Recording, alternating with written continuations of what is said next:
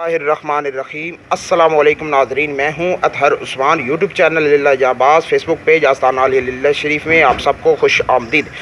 ناظرین کا ہم اس وقت موجود ہیں دربار عالیہ خواجہ اعلیٰ حضرت غلام ربی اللہ للہ شریف تحصیل پردادہ خاں ضلع جہلہ میں.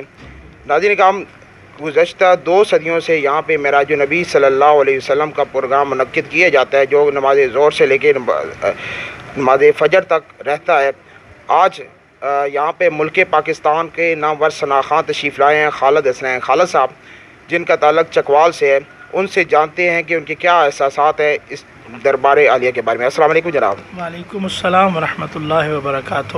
حضور کیسے مزاج ہے الحمدللہ شکر اللہ کا۔ سر پہلے تو آپ کو ویلکم کہتے ہیں ہمارے چینل للہ جامباز میں۔ اپنے احساسات کے بارے میں کیا فیلنگز ہے آپ کی اس دربار عالیہ کے بارے میں؟ شکریہ جناب۔ دربار علیہ للہ شریف سلسلہ علیہ نقش بندیہ کی ایک عظیم روحانی درگاہ بھی اور ساتھ درس گاہ بھی یعنی عام روش سے ہٹ کے جو آستانوں کا سلسلہ ہمارے ہاں جس کا تصور اب پیدا ہو چکا ہے تو اس پرفتن دور میں آستانہ علیہ للہ شریف کا موجود ہونا اور یہاں کے حضرت صاحب اور صاحبزادگان علم دوست ہستیاں صرف پیرانہ جو نظام ہے پیرانہ سے مراد پرانا بھی اور یہ پیروں والا جو سلسلہ ہے، تو عام آستانوں سے ہٹ کر یہاں پہ یہ علم دوست لوگ ہیں۔ یہاں پہ بیک پک روحانی اور علمی پیاس دونوں بجائی جاتی ہیں۔ تو بڑا ہی باادب سلسلہ ہے۔ اللہ کریم اس کو روز قیامت تک شاد و آباد رکھے۔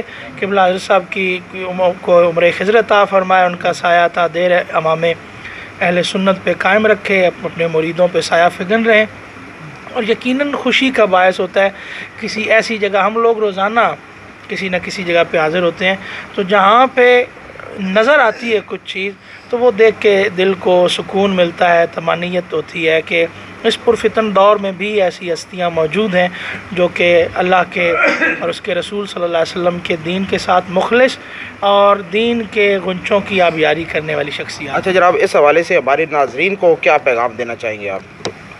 پیغام یقیناً یہی ہونا چاہیے کہ جس طرح ہم ہر چیز سلیکٹ کر کے لیتے ہیں تو جب آپ پیر بناتے ہیں یا جب آپ کسی کے مرید ہونا چاہتے ہیں تو اس کے بارے میں بھی سلیکشن کرنی چاہیے۔ میں عمومی طور پہ مثال دیتا ہوں کہ چاول لینے تو ہمیں پتہ چل جائے کہ دو کلومیٹر دور ملتے ہیں تو ہم چلے جاتے ہیں۔ لیکن پیر ہم رستے چلتا آدمی اس کو پیر بنا لیں گے۔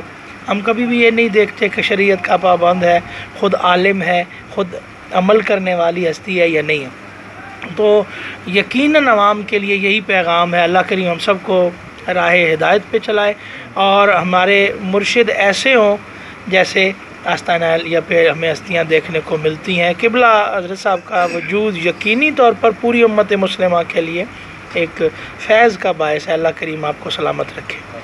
ناظرین اگر آپ کو یہ ویڈیو پسند آئی ہو تو لائک، کمنٹ، شیئر کرنا مت بھولیے۔ اجازت دیجیے اپنے میزبان اطہر عثمان کو اس امید کے ساتھ کہ آپ اپنا بہت خیال رکھیں گے، ملاقات کریں گے انشاءاللہ آپ سے اگلی ویڈیو میں۔ اللہ حافظ۔